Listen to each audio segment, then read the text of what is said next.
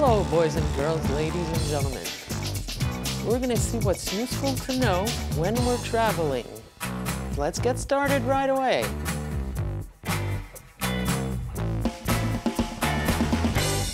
Hello, boys and girls, ladies and gentlemen, and welcome to Do You Speak English?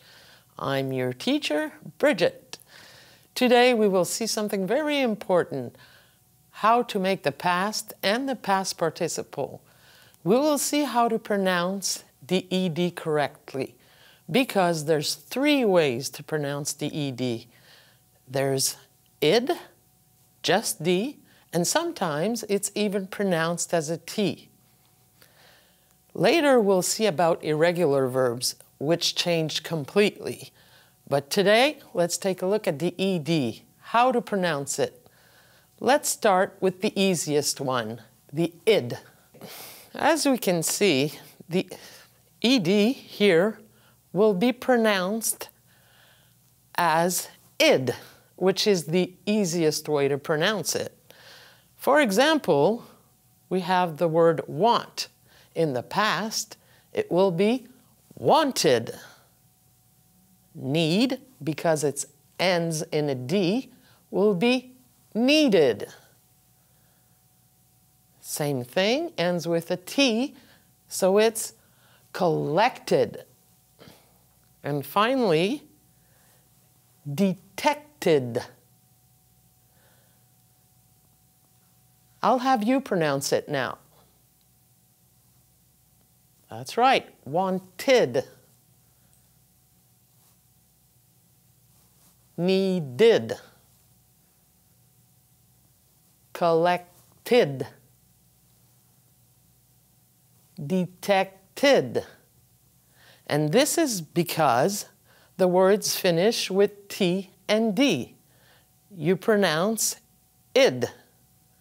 Wanted, needed, collected, and detected. We'll do it one more time together. You go first. Wanted. Needed. Collected. And detected. So there you go. That's for the T and the D. Now let's go to the next board. Let's put it in a sentence. I wanted to buy a car. I needed a ride home. I collected hockey cards. I detected a problem. Let's go, you try it now. That's right, I wanted to buy a car. Did you say I needed a ride home? Very good. I collected hockey cards. And yes, I detected a problem. Let's move to another pronunciation now. When you have words that end with P, K, H, S, S, C, or X, the pronunciation of the ED will sound like a T. Let's look at some examples. We have the word help. The ED will sound like helped. Very important to pronounce helped. That's what makes the difference between the present and the past. Look becomes looked. Wash, wash your hands, becomes washed. Laugh, becomes laughed and not laughed, laughed. Kiss becomes kissed. Dance becomes danced. Fix becomes fixed. Notice how I pronounce the T at the, end. Fixed. Push becomes pushed. Watch, like watch TV, is watched. And like, like I like you, becomes liked in the past. Let's look at it again. Helped, looked, washed, laughed, kissed, danced, fixed, pushed, watched, and liked. Okay, now I'm going to leave you some time to pronounce it on your own, and I'll pronounce it correctly after you. That's right. Helped. Looked. Washed. I hope you're pronouncing that T very clearly. Laughed.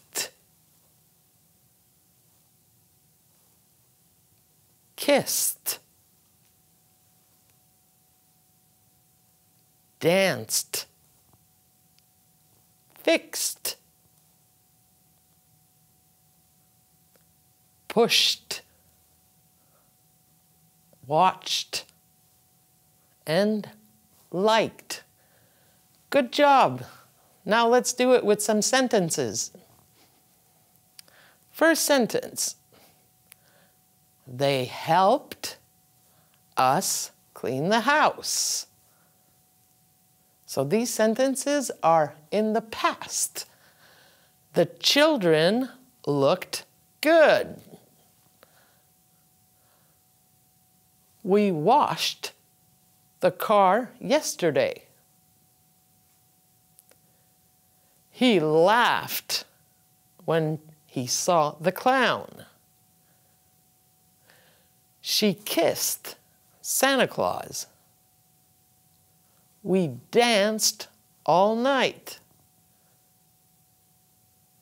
We pushed the car. We watched television all night.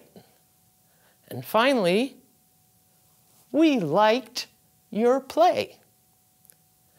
Now I'm going to leave you some time to pronounce it, and I'll pronounce it after you. So let's go with the first sentence. That's right. They helped us clean the house. The children looked good. We washed the car yesterday.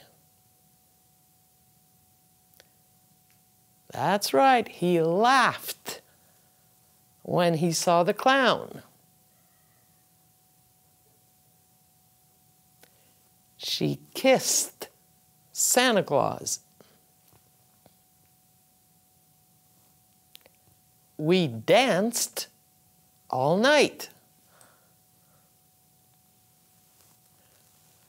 We pushed the car. we watched television all night. And finally, we liked your play. Good job. Now, for the last pronunciation. All the other words will just be pronounced with D. For example, call, like to make a phone call. Call becomes Called. It's just a D at the end. Called. Clean becomes cleaned. Offer becomes offered. Love becomes loved in the past. Use becomes used. Follow becomes followed. Enjoy becomes enjoyed, just a D at the end. Play becomes played. And stay becomes stayed. I'll give you a chance to pronounce it, and then I'll pronounce it correctly after you.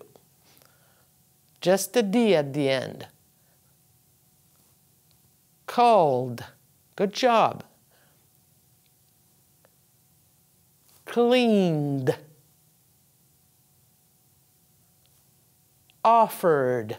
I hope we can hear that D very, very well. Loved.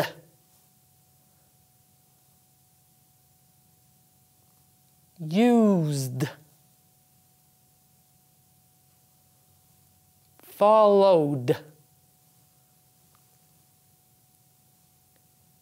Enjoyed. Played. And finally, stayed. We hear your D? That's very good. Now let's have some sentences. She called a doctor. I cleaned the house. He offered to help me. I loved the movie. I used your eraser. I followed the instructions. Are you following my instructions? And pronounce that D. I enjoyed your party. We played tennis. She stayed home.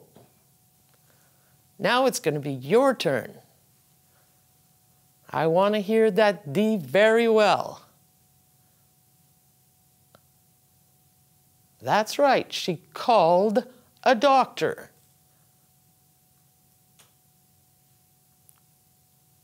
I cleaned the house. He offered to help me.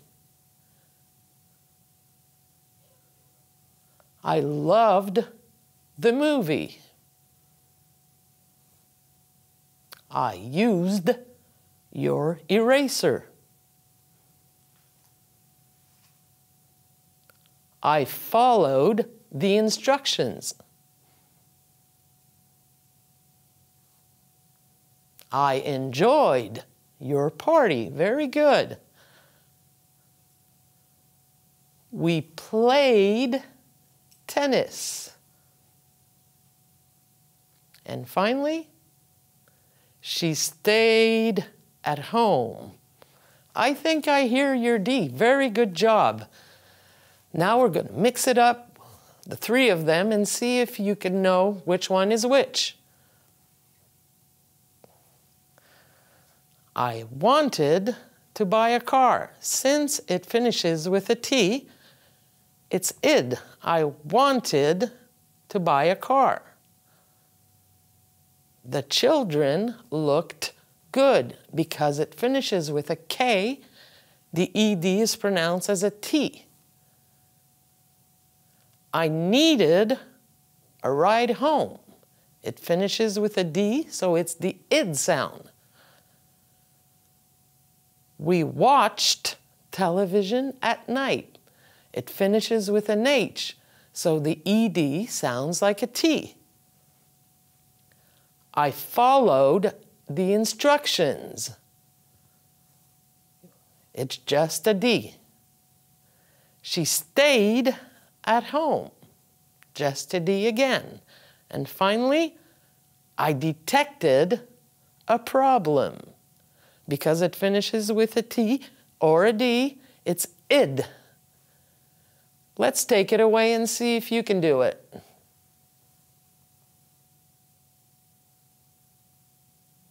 That's right, I wanted to buy a car. It has the id sound because it finishes with a T.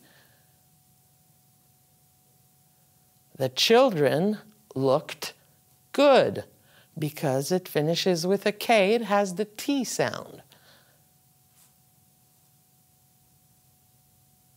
I needed a ride home.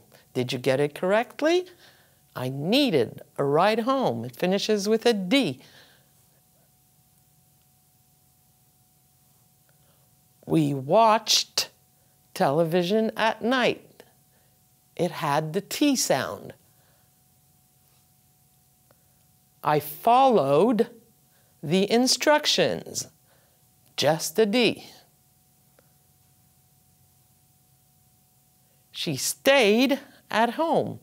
Did you pronounce just a D? I hope so. And finally, we have a word finishing with a T. So, I detected a problem. It has the id sound because it finishes in a T or a D. One more time. I wanted to buy a car. The children looked, a T sound, good. I needed a ride home. We watched, with a T, television at night. I followed, just a D, the instructions. She stayed, just a D, at home. And finally, we have a word ending in T, so it's I detected a problem. Very good. Let's put them back just as a recap. As you can see, I wanted to buy a car. The children looked good. I needed a ride home. We watched television at night. I followed the instructions. She stayed at home. I detected a problem. You can practice that at home, I'm sure. As for us, we're going to move to another segment and see a little bit about meals and food.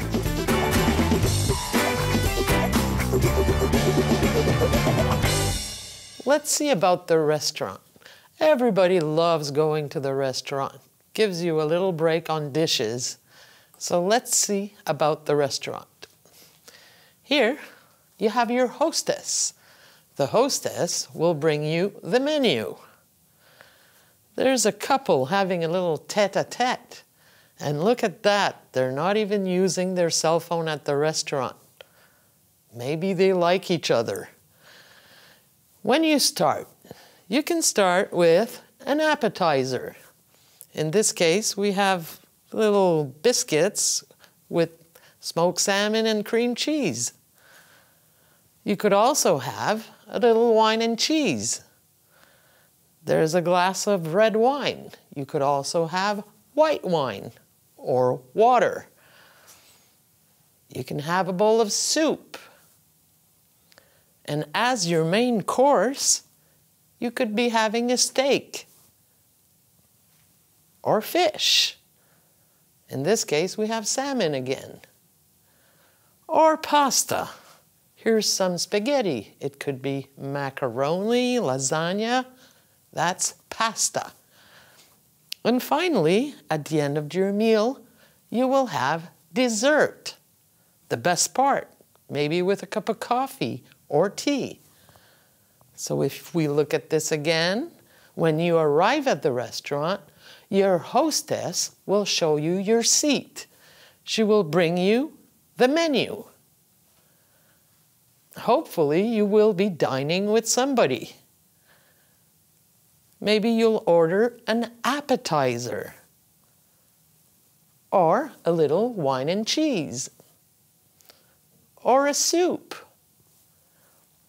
As your main course, you might have steak, or fish, or pasta. And finally, you will have dessert.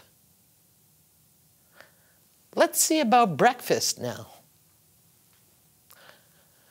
For breakfast, you can have scrambled eggs, a bowl of cereals. These look like Froot Loops. I have to tell you, my favorite is Captain Crunch. Here we have hard boiled eggs. This is sunny side up eggs, which means they haven't been turned. They're sunny side up. Here's an omelet. And right here, we have toast. What do you put on your toast? Some people like peanut butter, some people like peanut butter and jam. Toast. Bagel pancakes, pancakes with maple syrup, mmm, and waffles. So let's see the options for breakfast. We could be having scrambled eggs, a bowl of cereals, hard-boiled eggs, eggs ordered sunny side up, an omelet, toast. Toast with peanut butter and jam. A bagel. Pancakes. Or waffles. Bon appetit.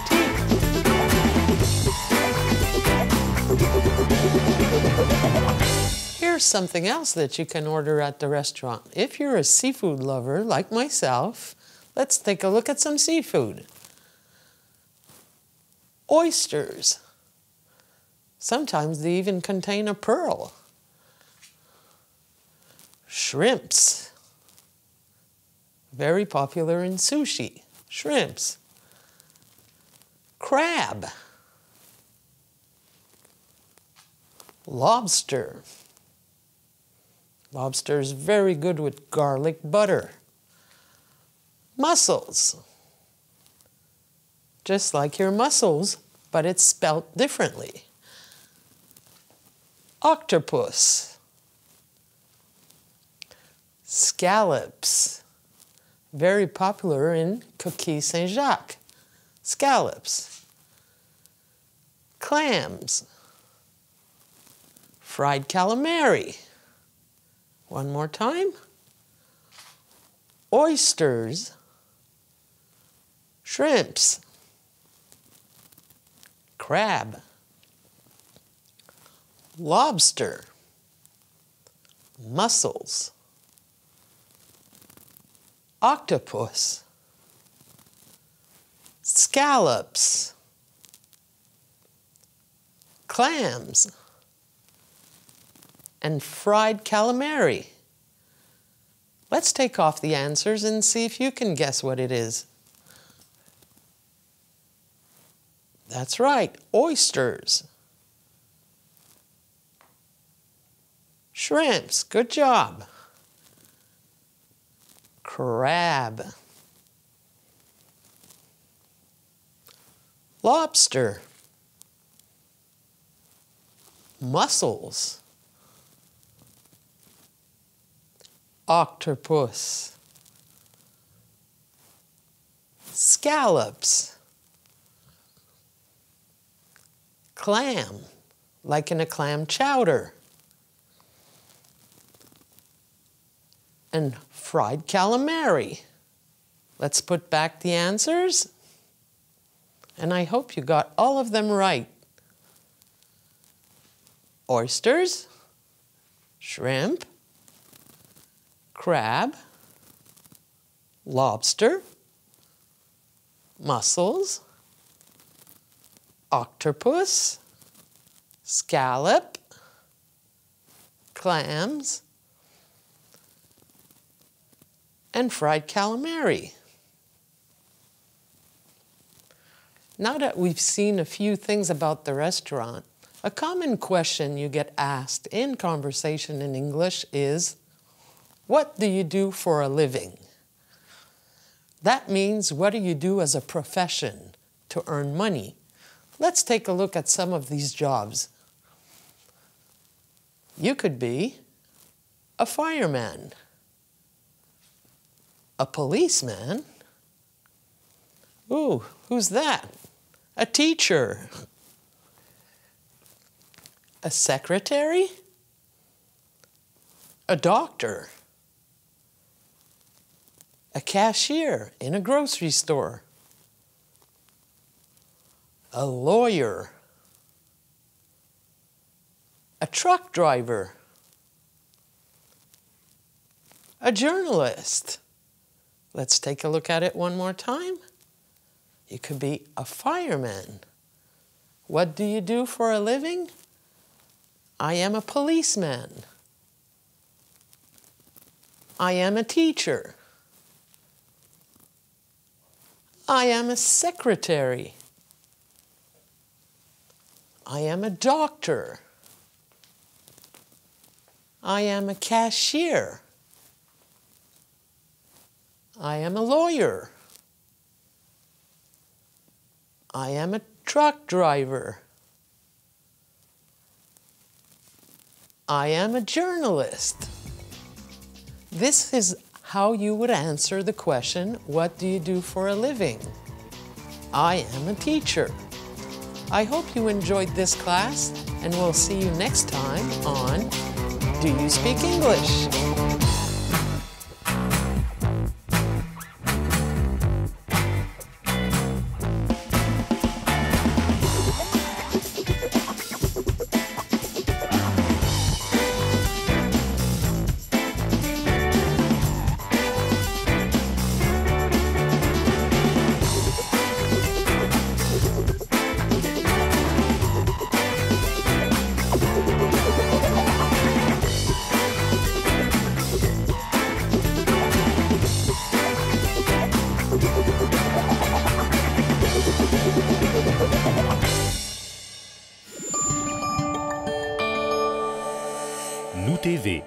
De faire rayonner notre communauté.